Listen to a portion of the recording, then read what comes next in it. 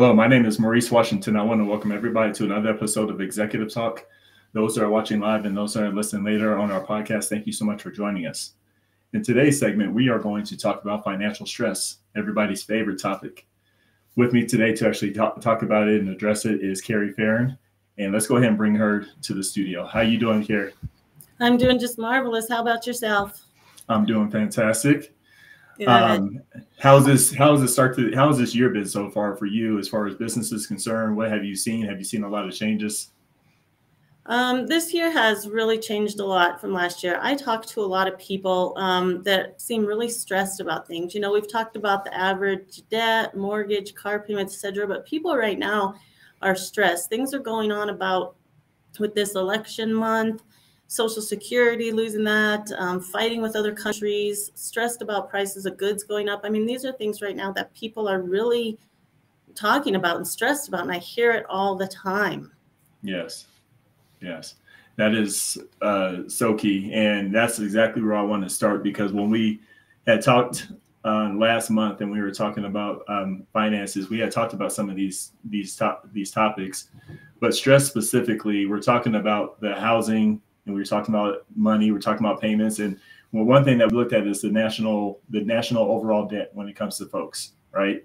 So on average, you know, the mortgage debt um, as a as a whole for society, we're talking about student loans, we're talking about all these things that people are, are committed to on top of their daily activity as far as living. So, it, would you would you think the with the, the combination of both of those causes the stress?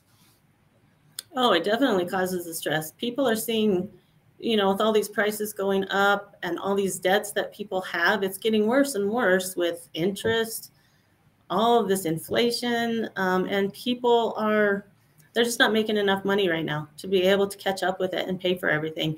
And that's all I hear a lot. I talk to a lot of people every day, and they are just all the same, um, especially here in Colorado these prices are really going up. I don't know how other states are, but I'm sure they're very similar. But Colorado is just going crazy, and people are scared here. I hear yeah. a lot of it. Um, I do hear people that are that know about it and think about it, but they have things in their head that they're really trying to overcome it, and you know the kind of it is what it is thing. So I like hearing that from people, but most of them are just.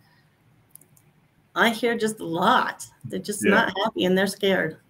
That's it you know, there is, and again, I'm not going to beat a dead horse when it comes to COVID. Everybody's trying to move past it, but there was a there was a definitely an affordability that existed, and there was a comfortability that existed. Where even then there was financial stress, and I think it happens year after year, no matter what age group you run into financial stress. But this one's different because we're seeing incomes not going going up, and we're seeing um, rates, so we're seeing inflation and everything going up all in the same breath. So we're there's, there's definitely a, a conflict of interest right now. Mm-hmm. Yeah. Um, so let's go ahead and get into some of these topics here. And the first thing that you want us to look at is looking at your financial your financial situation. So assessing your current financial situation and identify areas of improvement. Why are those your two first suggestions that you you know would like us to look at?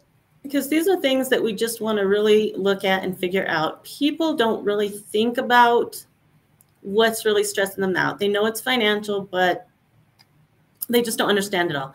So what people need to do is really just sit down and like you said, assess your current financial situation. You need to know about your income, your expenses, assets, debts, investments, savings. I know that's a lot, but those are all things you need to look down to and create some comprehensive overview of your financial picture. Um, the other one is identify the areas for improvement. Those are just reviewing your situation, where these um, problems are and how you can improve them. And a lot of this is just really sitting down and looking at what you have, where you want to go, and where the problem is. And people need to be really patient with that with themselves.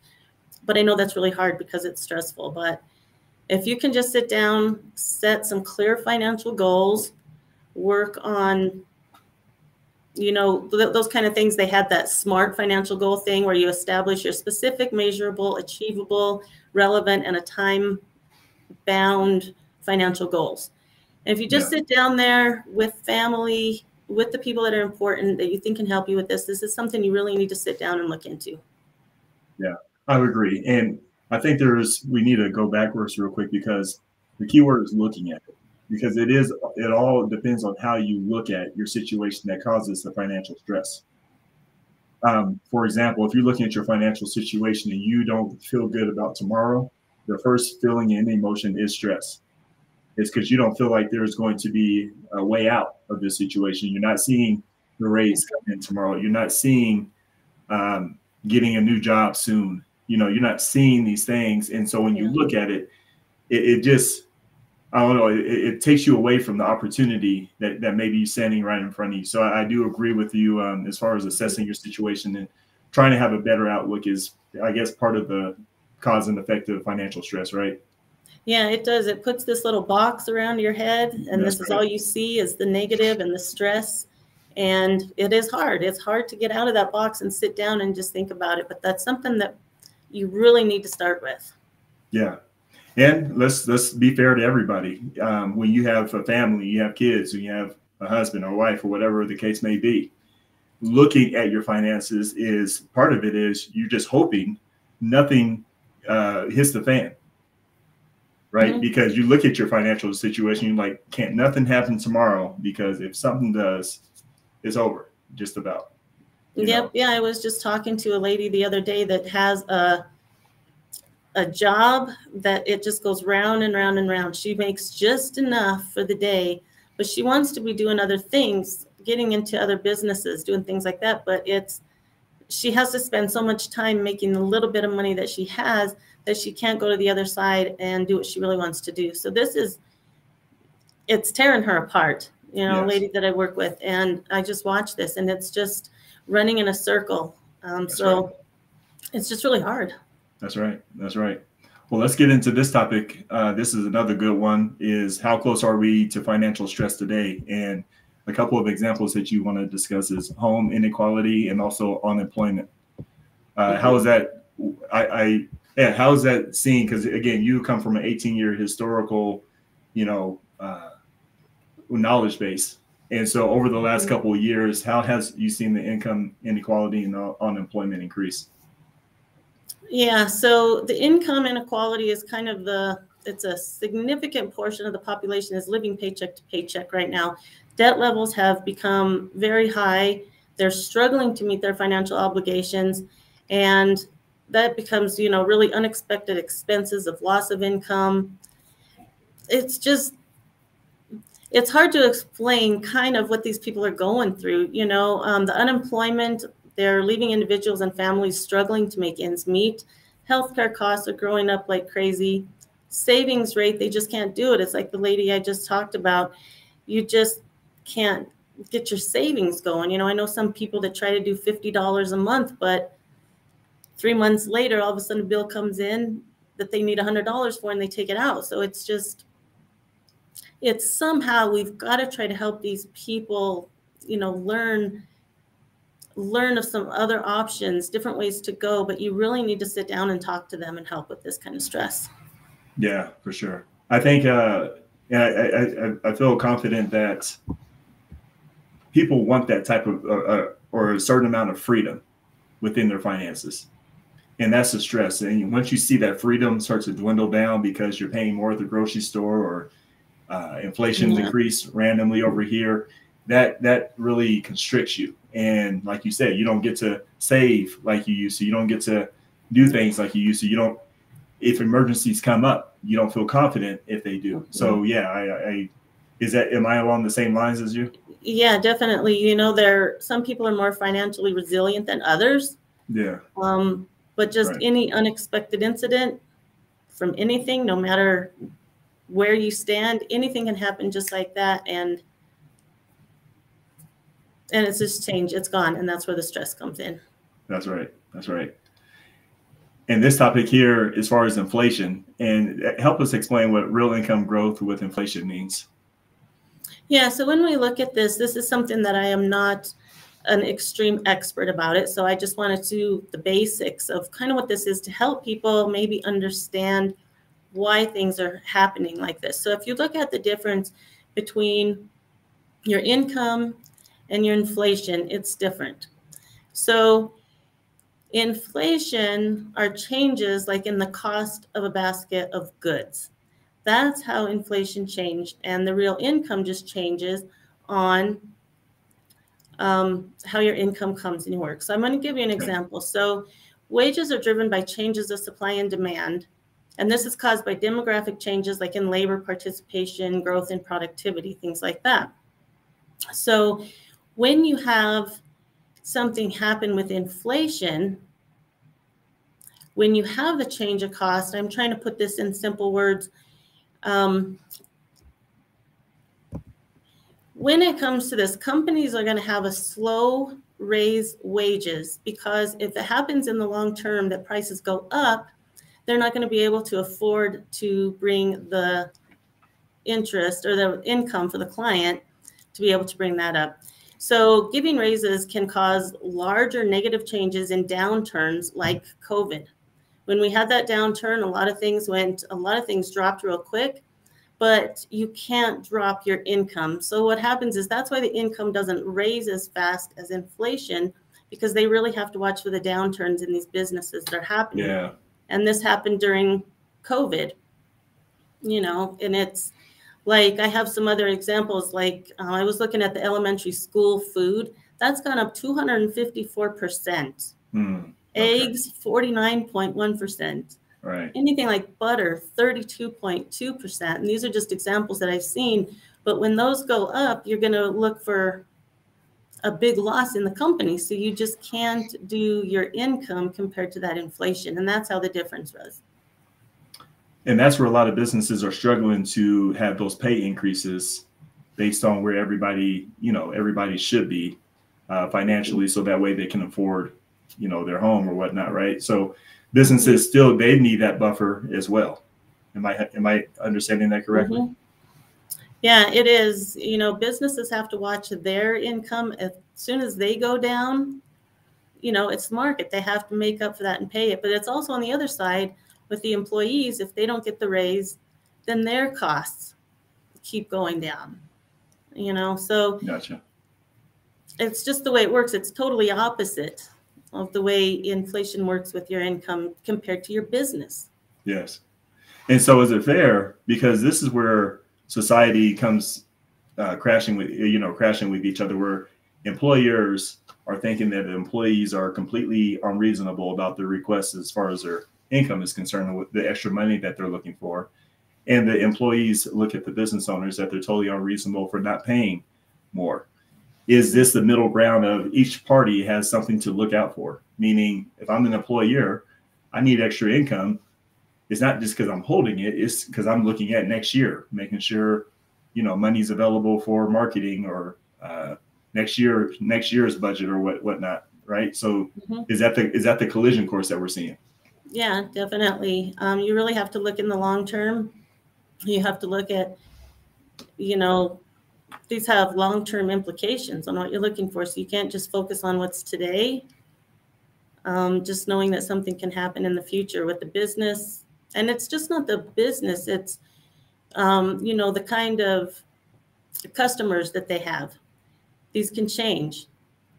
Kind of customers, the kind of way the economy is going right now. Then your business could change. I mean, it's just anything just by the snap of the finger can change the way you're looking at that. And that's why inflation, it's scary. Your income is scary. You just don't know what's going to happen. Yeah. And that is a key point. So if you're looking at the rising costs in businesses, they may be um, increasing costs just because they have their own financial stress, mm-hmm. right? Just to operate their own the business, like they the operating the business wasn't as the same as it used to be. It costs mm-hmm. more to run business, so we're seeing their financial stress and the decisions that they have to make. Yeah. So nobody's exempt in this financial stress. Yeah, it's hard on both sides. Really hard. Yeah. Okay. That's good. That's a very good point. And so, what do you mean by comparing asset uh, comparing assets? We have absolute spending levels, lifestyle factors, and socioeconomic factors. What does that mean to the viewers? So, if we look at like the absolute spending levels, um, try to put this together an example. So if a person is earning a million dollars a year to a person earning a hundred thousand dollars a year, That looks like when you look at like the million dollars, you think that they wouldn't be stressing because they have the money. But what it does is money kind of runs in a percentage. If you look at it that way, the more you make, the more you're going to spend. You have more expensive lifestyles, larger mortgages, larger rent payments, luxury goods, things like that that you do. So the more you make, the more you spend. So it doesn't matter when you're comparing a person a million dollars income to a hundred thousand income. It still can be scary if anything happens in that situation. And everybody mm-hmm. that has the money, they always want to grow with their neighbors, you know, look better with their neighbors, do this kind of thing. And that puts people into a situation, no matter how much money you're making, because it's a comparison that we have in this world anymore, is to be better than somebody next door. And that just puts you into a real mess. It's a real mess. And one information, one uh, example that I kind of looked at is I know a couple that they're very wealthy, they have good income. However, the husband lost his job. He actually got fired, which is sad. Then all of a sudden, half of that money just dropped. They have three kids. And all of a sudden, they've been really stressed because there went 50% of their income. And so it doesn't matter, again, no matter how much you make, that information, anything can happen. So people have to look at that differently too. Yeah, I completely agree. And I that's what's so funny about society and just people in general. And this is not a neat bashing or anything of that nature. So I want everybody to really take this in. We operate on a daily basis like um, thinking things can never happen to us. And that is is almost it, it makes us weird. It makes us really different. It makes us make bad decisions because we're like you just said, they were living just a great lifestyle but all you have to do is lose a job. All that business has to do is downsize or do have a mass layoff all of a sudden.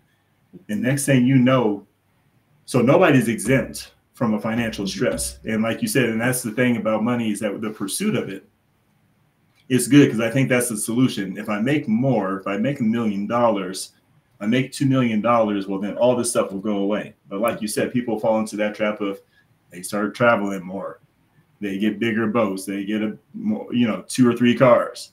I mean, just the lifestyle starts to match the income, and all of a sudden, now your stressful situation and what you have to lose is a lot more than what you had to lose before. It seems like. Yeah, I think so. The more money, the more money you spend, the more you're going to lose. You know, and it's kind of like the the people that win the lottery. Yeah they win millions of dollars, but it's in their head on not being know how to save and spend, and that money's gone like that. It doesn't matter. There were ones. I think that one just went through with one billion dollars. I don't know. We'll see how far that goes because people just they don't understand money, and so that money doesn't matter how much you have; it can disappear in three years.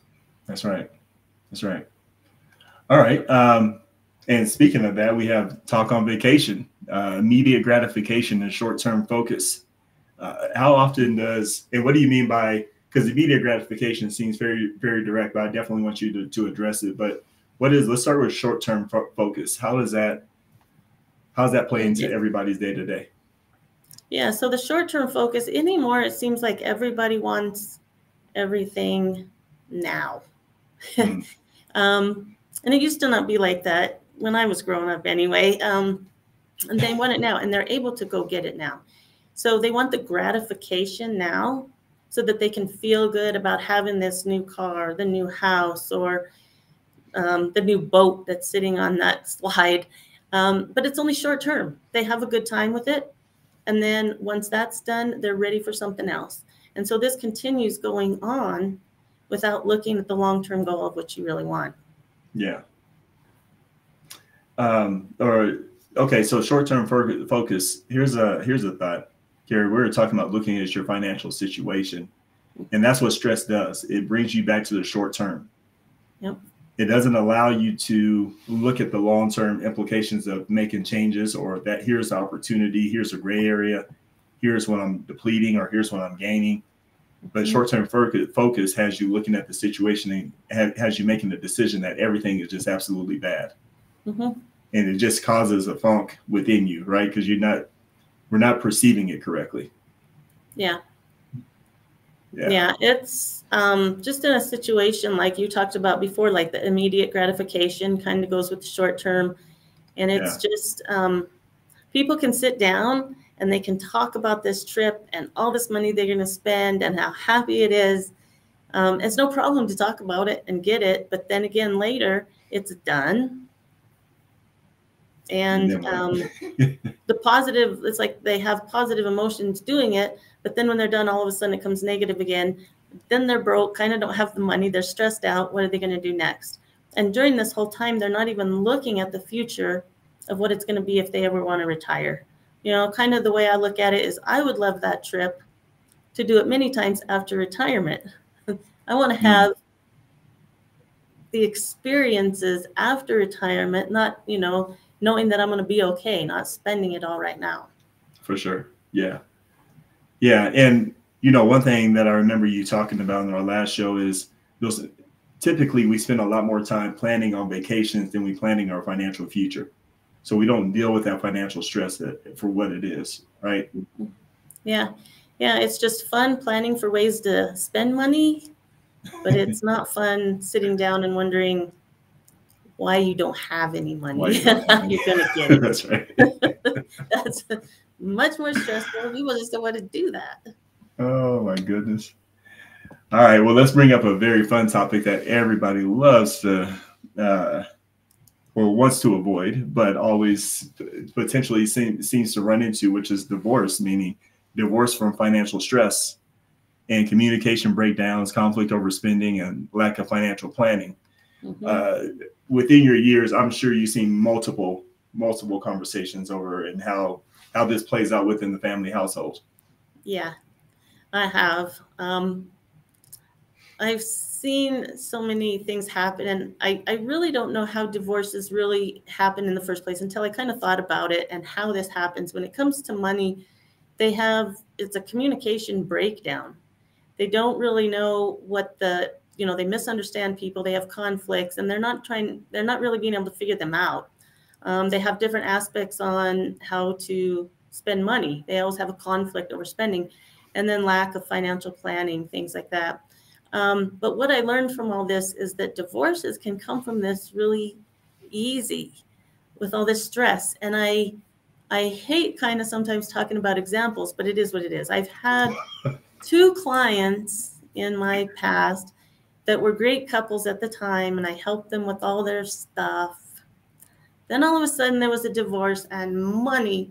It was insane how much they fought. it was just like it was down to each penny on the other side, you know, and I was just like, wow, this is um it's crazy. So I've I've seen it before. I understand where it's coming from. And it's a really big reason for divorce because it's just lack of communication. And um, I had a a really good friend. He's kind of a mentor to me.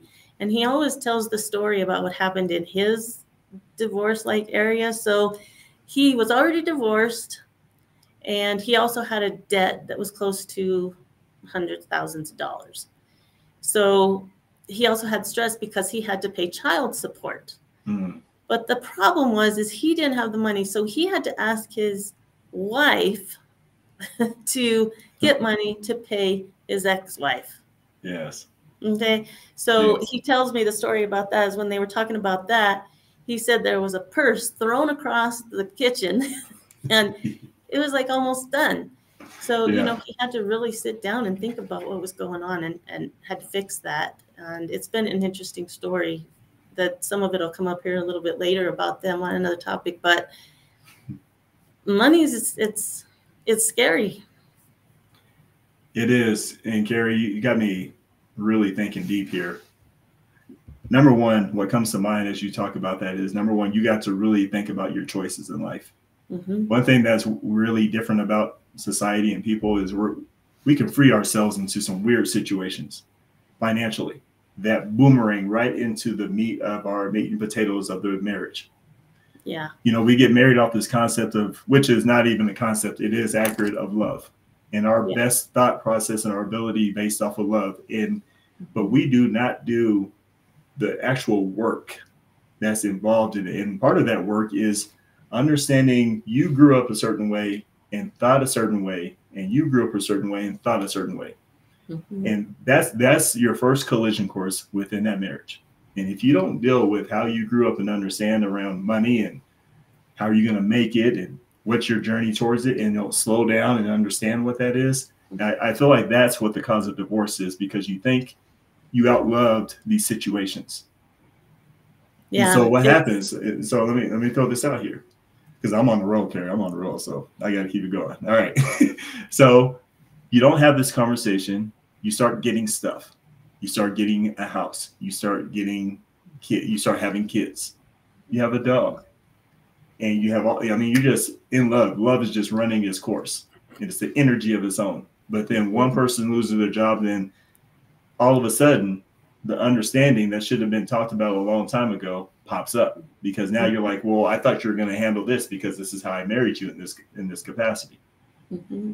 And so the rubber hits the road because it, it is that perception on as as we have talked about before, how you look at money, your financial outlook um, shows up at some. And so um, I don't know ultimately we're, we're ultimately, I feel like the fear is the that communication piece is so tremendously huge within how this thing, if you want to stay away from that divorce on how money works and how it works for that other person. And that is almost seems like that is one of the major things that needs to constantly grow within the marriage yeah. and constantly have a conversation about to even make sure that doesn't come back and boomerang and hit you. So that's my brain dump as you talk about that. So but do you agree with that? Yeah, you're saying everything I was thinking of. Um, assumption is one thing. Mm. And I will even say for myself, assumptions are not clear. And you can't assume that the other person's going to do this or that. You have to have that communication. And uh, when you said boomerang, it made me think of, um, you know, I don't know how to say it, but you got a boomerang with bad stuff on it and you throw it, it just comes back to you. and it's like we're keeping it PG, everybody. We're keeping yeah, it PG. It's like it was just a story. It's just what you throw out just comes right back to you. And uh, yeah, that doesn't go well in a relationship. That's right. That's right. Ooh, that's always a deep topic. We'll we'll talk further about that. Um, so let's talk about the statement of "I can't afford it." And you talk about the emotional response to money, perception of opportunities, and also long term financial habits. Um, can't afford it seems like it's a generational thought process. And it just, you hear it, you hear it so flippantly nowadays. Mm-hmm. And I guess all, all my life, and I haven't been around a, a long period of time, but long enough to hear that's a, that's a constant statement within what we what we say. So talk to us about how how this shows up. So like you said, the emotional response to money, relationship with parents, like that. A lot of children have, not children, a lot of adults have told me that while they were growing up as a child, it was always, they wanted to, um, the parents would always say, we don't have enough money. Can't have that. There was always a rejection of something being able to be bought for the kids. And so it kind of gets in the head that the situation is all a financial stress. Um, relationship with parents, then it comes to the strain that it has with the children. You feel sometimes it comes resentment, frustration, disappointment, things like that, because you don't really feel connected with your family. As a kid, you don't understand, but it's kind of if you never get what you want as a kid, and they're always saying we don't have enough money, that what gets in the head of it. And then with the long term financial habits, that grows with them. So when they have children, it kind of goes back to them and um, they are mindful messages. And I just, another example just went through. I talked to a friend of mine that's really working on her own business, um, wanting to grow, wanting to do these things that cost money. But the parent didn't grow up like that. The parent was told, you have to save your money. Don't spend it on this. Don't spend it on that. But when you look at the two, they're totally different because the parent has barely any income. That's what the parent was set on for the rest of her life. But the daughter wants to really grow and continue to do it, but the parents holding her back. She told me the story the other day about she just mm-hmm. kind of the daughter kind of just gave gave up talking to her mother because she was just holding her back. Like they don't have any money, things like that. So it's grown in the family and it's really hard to watch.